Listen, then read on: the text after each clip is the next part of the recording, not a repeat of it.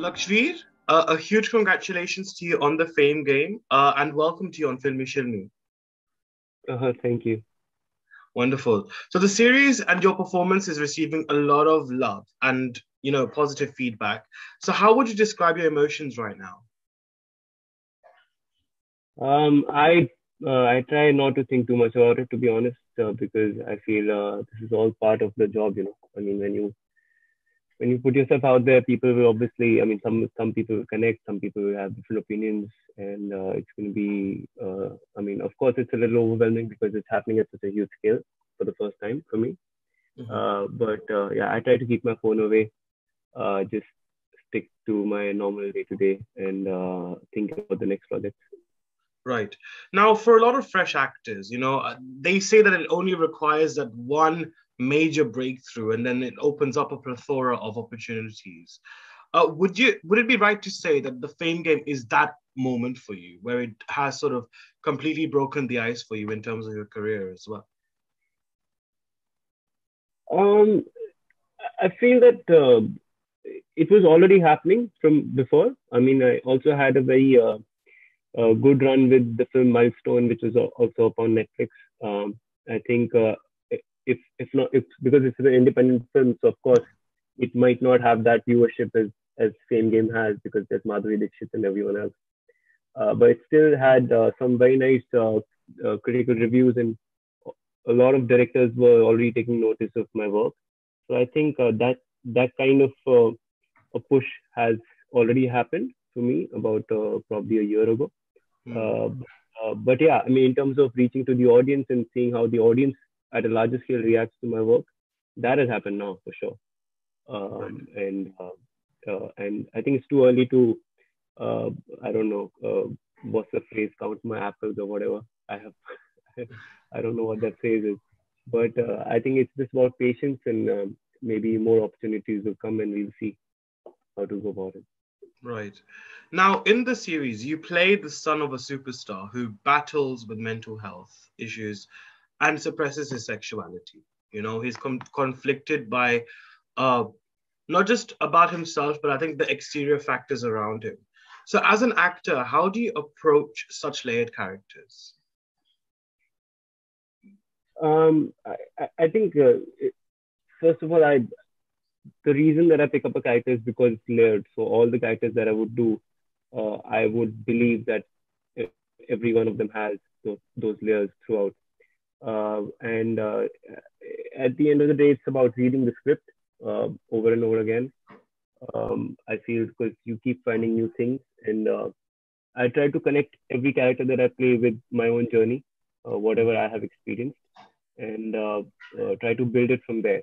Because I feel that is that's the only honest space that I can cater to, right? Because if there's a feeling that I have felt, and if I can represent that in a, at a different degree or or in a different manner, just mold it.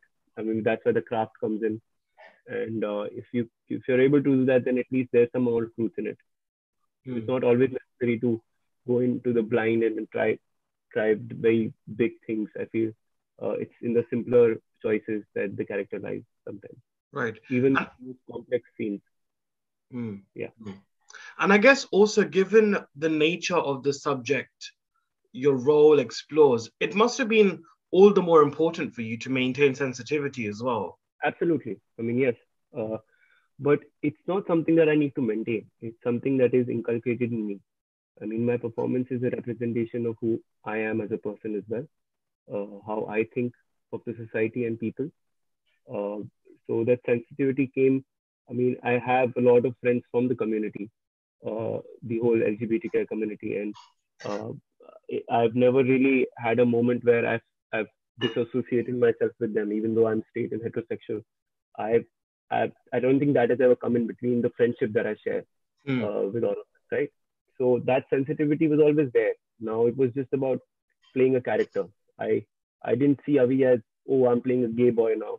I saw Avi as a person who's uh, struggling to come out and uh, has has a lot of um, ideas about the world and he's nervous about how people will accept me or he's very angry within himself and it was more about playing that anger and frustration more than playing uh, playing gay or anything of that sort because i feel what at the end of the day, the central aspect of all of us uh, is is the emotions that we go through.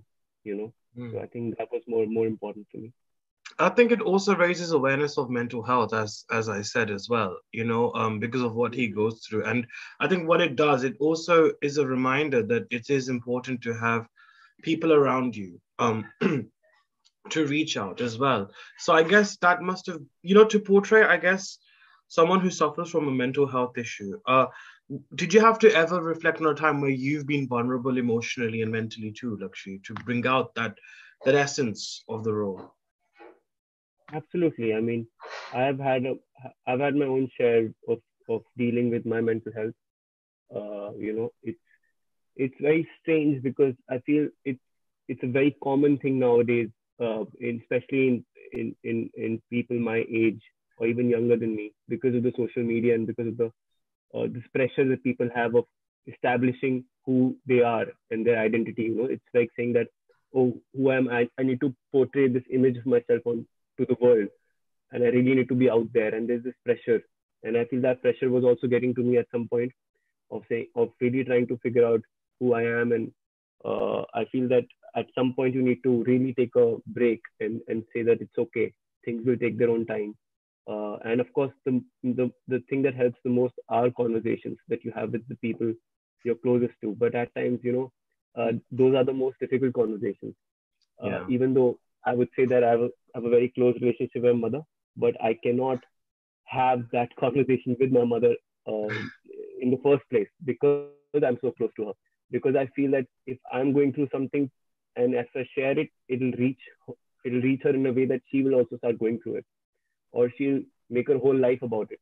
Uh, so uh, that is also a very tricky space. So you know you really have to gauge where you can have those conversations. That's why I'm a big, big believer in, in the idea of therapy and taking professional help. If anyone's going through a certain uh, uh, mental health crisis, I feel it's so important to because we the moment we have a fever, we we run and call the doctor, right? Mm-hmm. why not if we're ever feeling something off in terms of uh, either it's getting out of bed or it's it's not being able to hold a conversation or it's not uh, being able to find the strength to go out and interact with people I feel these are all things that you need to think about and, and really deal with as soon as you can because they can, uh, mind is a very tricky thing and it can really uh, turn around on you uh, very quickly. So I no, feel it's, it's definitely. And i'm really glad. Thank you for saying that as well. I think it's very important. Um i think another moment that i really liked in the series uh is when you're having a discussion with anamika when avi is sitting with anamika and uh, mm-hmm. she's describing uh the life of a sex worker. And um she says for you it's two minutes of joy but for her it's her lifetime. It's her it's her rozi roti. Um mm-hmm. i think it's very interesting how again um the series addresses sort of and voices uh, you know, sex worker rights also, you know, in a very subtle way as well. I think it's quite ironic because we've just had Gangubai releasing, which again sort of addresses the mm-hmm. same topic as well. So I guess it was, it must have been quite uh, eye-opening for you, right, to kind of have this discussion a bit more, even though it's through a fictional series. But it must have been quite eye-opening for you as well, right? Correct. Because absolutely I agree. Because there's, there's something that that we are lacking as a society right now is empathy.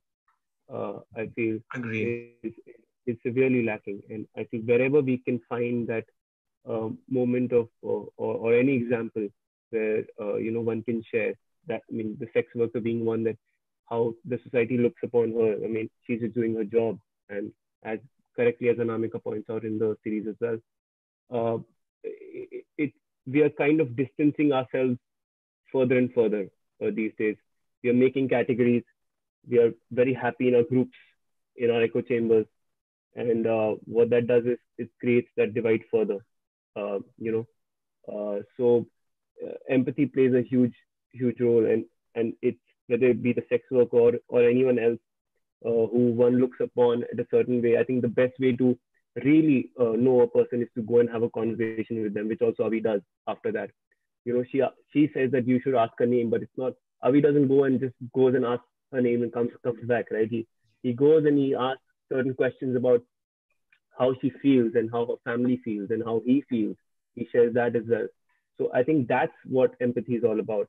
That's what what what's uh, what's going to break the the ice between people who come from different classes, different cultures, especially in a country like India, which is so uh, diverse uh, in its essence, you know. So uh, yeah, I mean, I'm sorry, I've digressed from the question. No, no, no, but it's true. It's it's interesting because I feel like you know. I, yeah. I, I look at every scene. I start from what is being said, but I I try to connect it to uh, a, a point at a larger scale because that's the whole. Otherwise, why are you doing it? Why am I exactly. why am I acting or why am I an artist right now?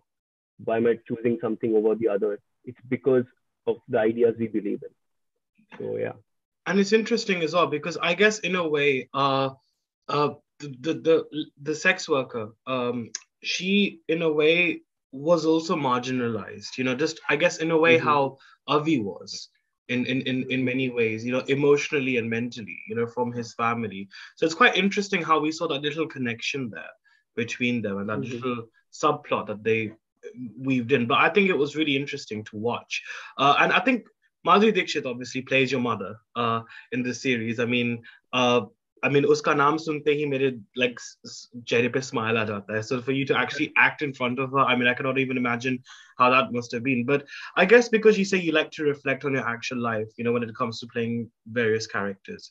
Um, so how much uh, did you reflect on your actual relationship with your mother uh, to make sure that you, the bond between Avi and Anamika is portrayed authentically and organically? Um, I feel uh, it's very important to. Um, uh, very difficult to explain it. I don't know how, but uh, it it's the it, it's when in the scenes when it's just her and me together, and the mother and son. Uh, the energy is different, you know. So, like I was trying to relate it to my family. When whenever I'm sitting in my room with just my mother, there is a certain difference in my body language. There's a certain difference between uh, if even if my father steps in, things will change. It's only with my mother there's some intimacy. You know, there is some kind of uh, uh, relaxation in your in your being, right? Uh, there's more honesty, there's more vulnerability. I can be more sharper and direct to her than anyone else. Uh, so I was trying to find uh, those kind of similarities. And actually, what I also did was I actually stopped talking to my own mother during the period of the shoot because I told her that our relationship is so powerful that if I keep talking to you, I will never be able to see a mother in in in Madhuri Dixit in Anamika. So for me, be able to do that, I really need to stay away from you. Uh, so it was very difficult to explain it to her. She was obviously not very happy with that idea, but uh, but I uh, so I actually didn't uh, speak to her for a really long time, and and I just kept thinking of Anamika as my mother, and whenever I would be on set, I would just go and sit sit next to her and just be there, not even have a conversation, but just be around her. So I really understand what her presence is. And I really am comfortable in that presence. I need I needed to really normalize the presence of Madhuri Dixit because if if I've I've done that, at least I've I've reached uh, some kind of a uh, uh, some kind of honesty in terms of how mother and son are together.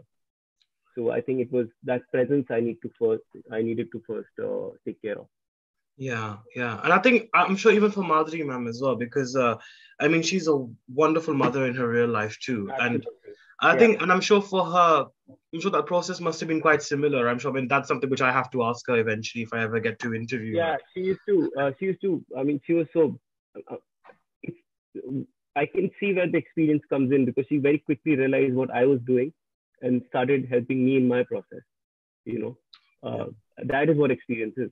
Uh, so she used to show me uh, videos of her son playing uh, the piano, the drums, and and she used to tell, tell tell me how how she feels because Avi is also inclined towards music, right? Mm. Uh, so she used to tell me how she feels when she listens to them and uh, how they are with her at home. Uh, you know, a lot of anecdotes, a lot of stories. So all of those things really helped. Mm. Yeah. Mm. And I think you know every time I, I speak with actors, and I think even the series, it really makes a very tongue-in-cheek almost comment on nepotism.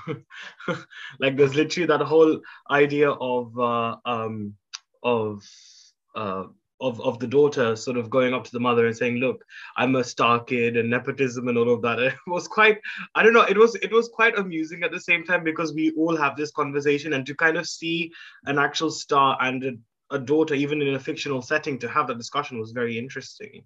Um, but I think being an outsider uh, for you, how I mean, was it challenging for you to actually understand the pressures of a star kid uh, and the emotions they go through? Again, that must have been quite a um, an eye-opening experience for you because you got to understand the other side of of fame, right? Yeah, I think uh, I think the script first of all was so comprehensive that it was constantly giving me uh, the knowledge of of what it must be like to be surrounded by say media all the time or photographers all the time, and that's something that Avi hated. Uh, but I got lucky in a sense is that uh, I personally also hate attention. I I do not like it. I like to be on my own, uh, in my own in my own world. So I think that was something common between me and Avi, and that's why I probably even when Sri saw the audition and uh, he saw me play Avi, he saw something different. He saw some. He he genuinely came up to me and said, "The way you did Avi, I didn't see anyone else. Everyone else was doing something similar, but then you came and you did something different." which is very surprising to me because I just went and did something without even thinking, just the first thought that came to me of how Avi would be like, because this someone who's uh, who comes across as arrogant only because he wants to stay away from people and not talk to them or, or not talk a lot. Uh, I feel it was my life story. so I just, uh, I think, yeah, I mean, uh, so I just felt that uh, that part connected to me very quickly. And I didn't try to, uh, as I said before, when you don't know something, you should not try and portray it.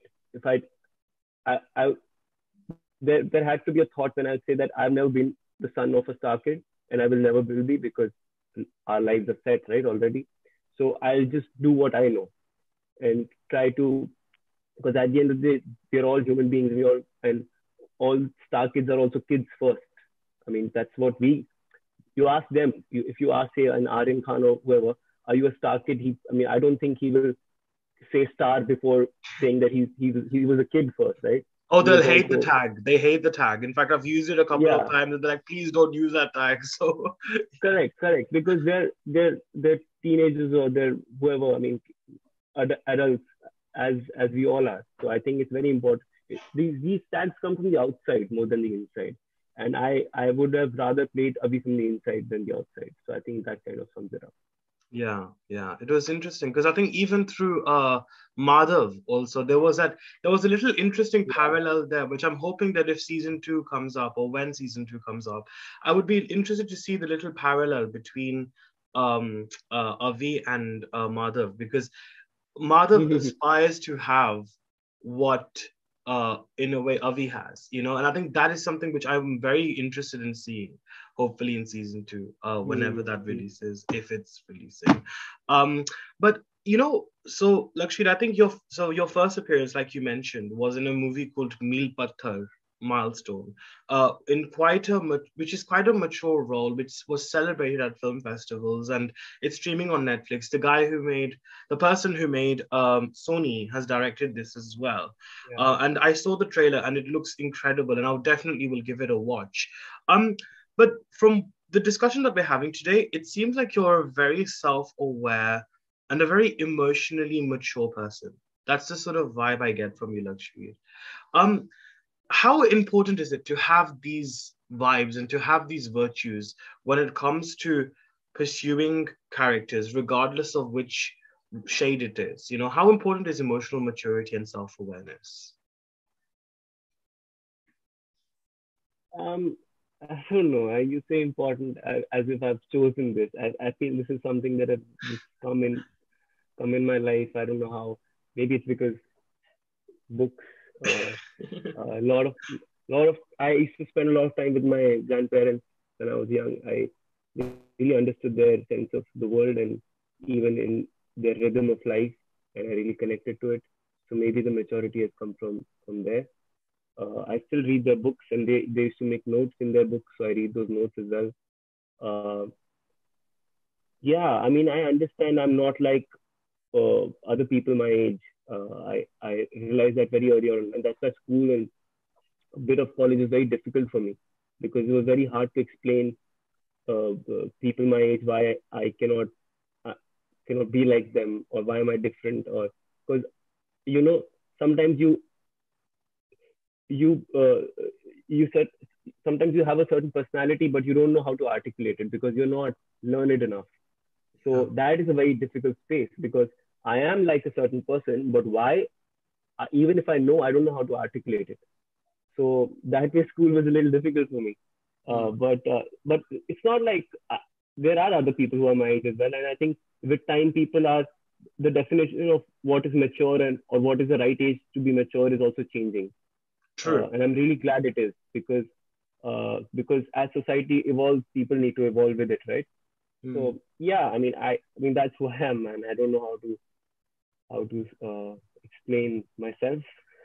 I get you. No, I really understand where you're coming from because, you know, I, you know when you said that you were very different, uh, and you couldn't really explain why you were different um, from the other people of the same age bracket as you.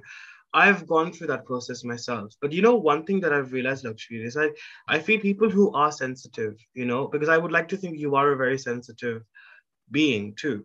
Um, I feel like people who mm. are emotionally very aware, self-aware, and sensitive too, I feel like we suffer a lot, you know. I feel like we go through a lot in terms of um fitting in, uh people not accepting us. It's almost like people fear that honesty you know yeah i i used to i used to tell my uh, acting teacher teacher he'll hate the word teacher uh, I, I, think in my college yeah yeah because he he was a staff advisor for theater society cable uh, and he taught me never to call him sir or any of because he said that it's important to look at each other as individuals first and you know not have a baggage of respect.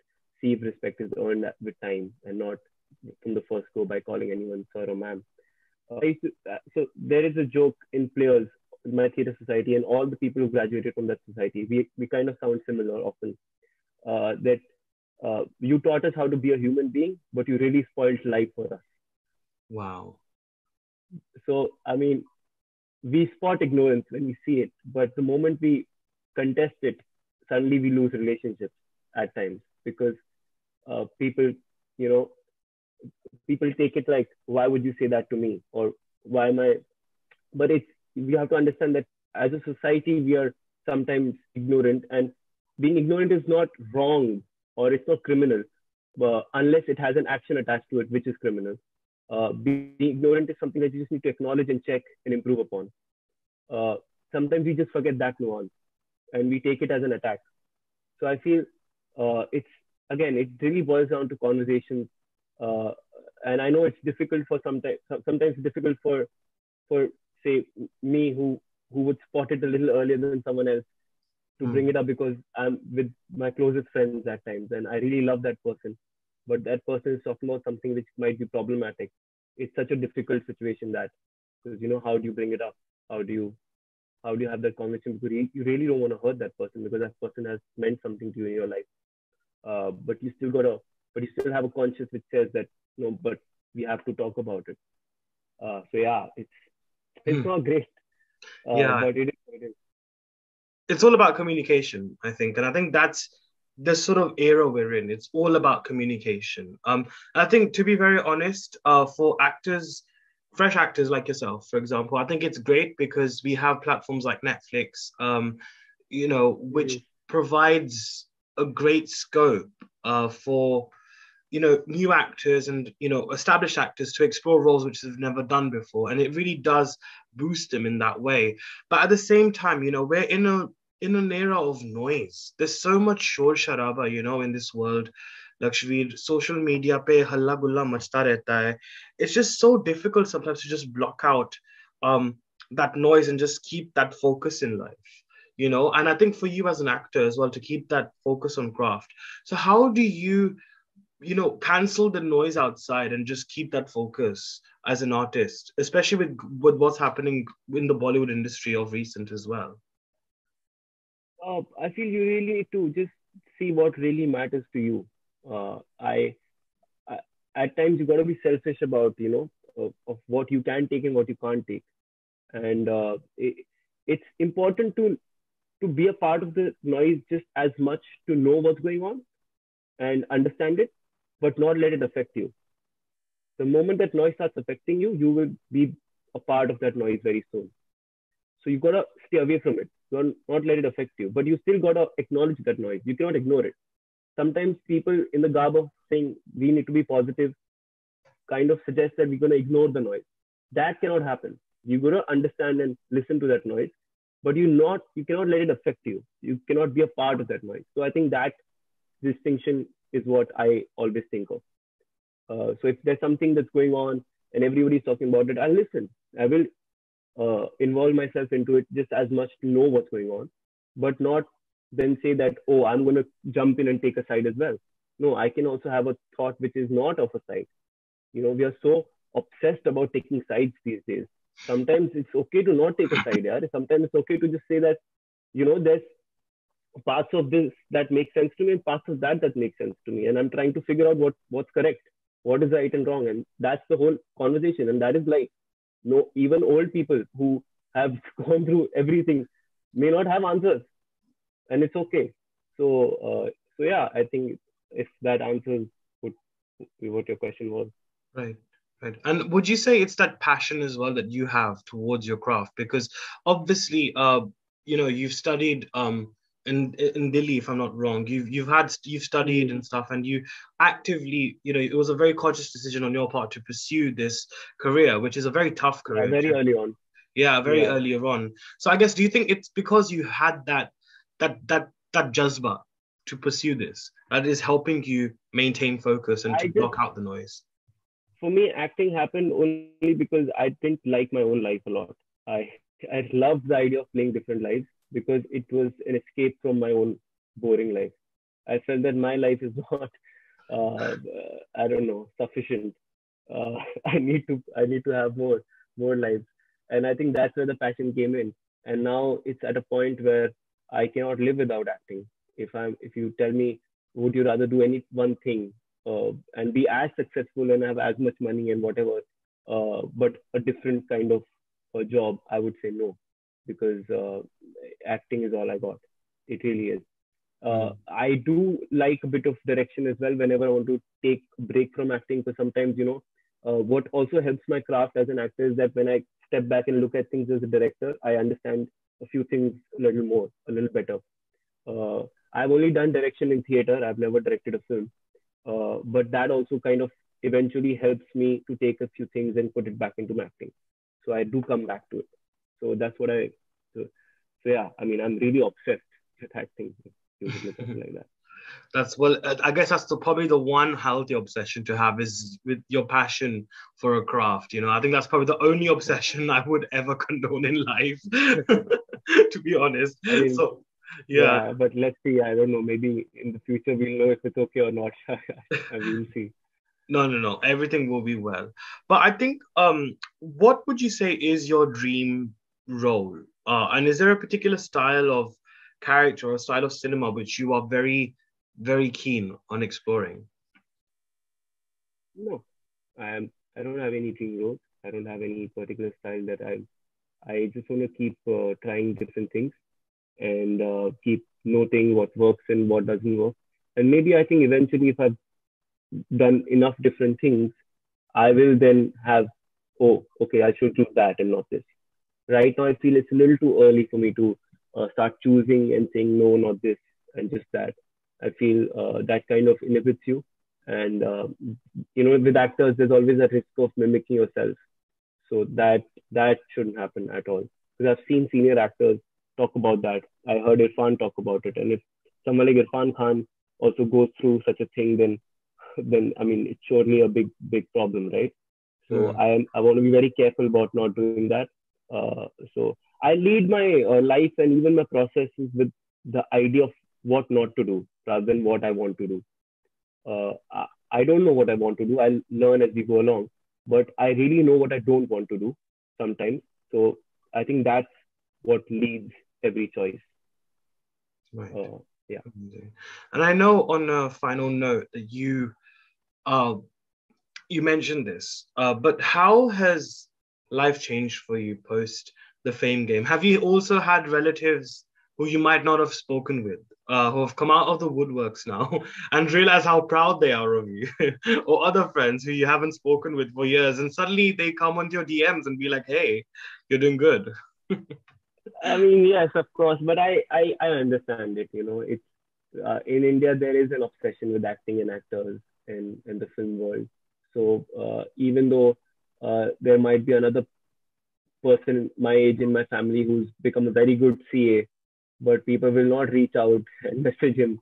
But because I have a particular series that's come out to the world, and and there is that, uh, you know, there is a certain way people look at actors as as uh, only the famous ones, of course, not the not the people who are struggling and trying to make it work. They, for them, that's like, uh, beta kuch aur kar lo. Uh, but yeah, uh, but yeah, of course, people are reaching out and I would like to believe it's, it's coming from a good space. Uh, but as I said before, I don't think too much about it. It's I, I appreciate their excitement. Uh, I'm I'm glad that they're happy. Uh, they, I might do something tomorrow which they're not happy about, and they'll again come and say, "Oh, this you shouldn't have done this." Everyone will have an opinion about things. Today they're happy, tomorrow they might be not. So I want to stay away from it. I don't um, uh, bother myself with it too much. Mm-hmm. Uh, I don't take it very seriously uh, because if, uh, for me, my journey is more important than anything else. Mm-hmm.